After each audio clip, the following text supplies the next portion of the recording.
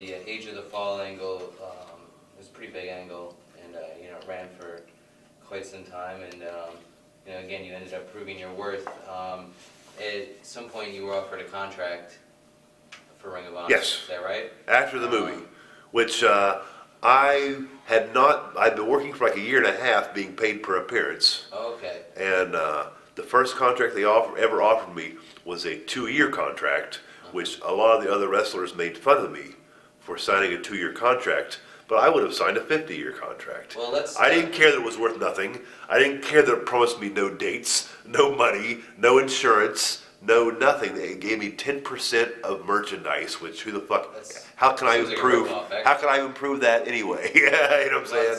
Well, they made like seven or eight different shirts with me on them, so someone must have been buying them somewhere. Well, most of the indies, you make your own shirts and you get. I never make my own shirts. Right. I have never made. I uh, You've, as never, long as I've known never, you, you've never had any. money. never done merchandise. Never done nothing. Never Probably done. left a lot of nothing. money on the table. But I, that's not what I'm here to do. I'm not here to get, like, this is, like, the, the reason I'm doing this fucking autograph signing, I find it completely reprehensible, completely disgusting. You come into a wrestling show and you see all these wrestlers lined up like a goddamn flea market. Hey, buy my stuff. Buy best of me when I was in AWA. Best of me when I was in Evansville. Uh, best of me on Thursdays. Best of me with short hair. Be- Like fuck, like fuck, man. All I want people to do is if, man, times are fucking tough. Nobody's got any fucking money. But if you got some money, bring your kids to the fucking show. Bring your old lady to the show. Bring your goddamn pothead fucking friends to the show, and introduce your pothead friends to me.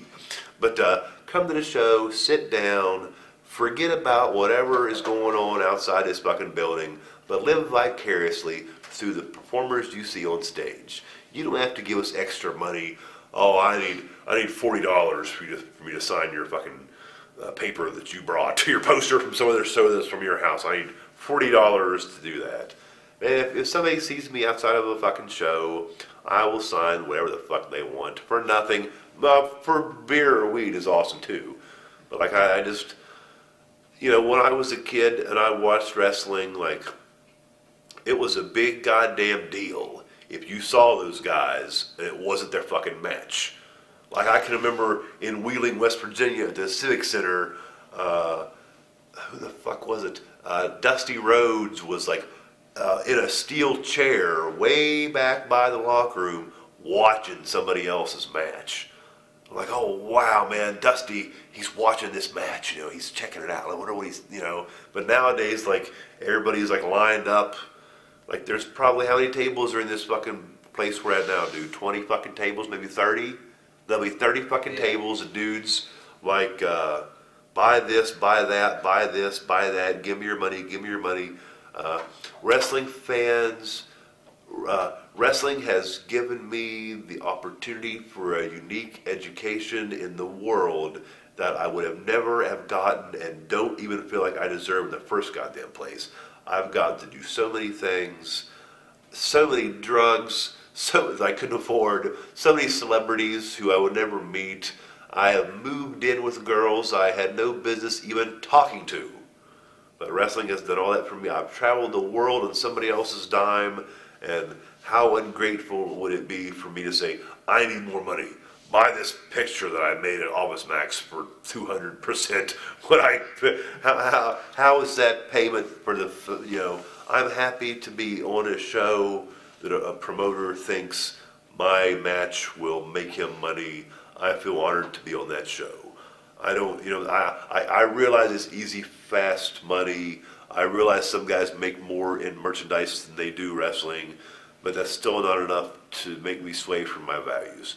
I I just want to go to the show, hang out with my friends, have a good time, and, and if you don't want to buy some of my fucking shirts or something, good for you, because I don't want to fucking, you know, that's not what I'm trying to do, man. I'm, maybe I'm just a fucking weirdo, whatever, but like if I wanted to be fucking rich, I would have done better in college.